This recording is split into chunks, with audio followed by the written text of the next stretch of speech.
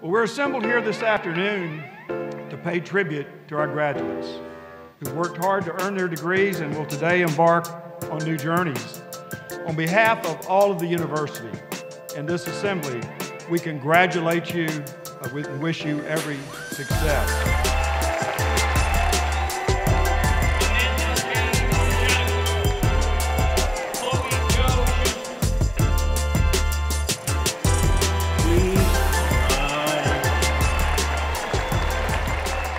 Now you may change your tassels from right to left.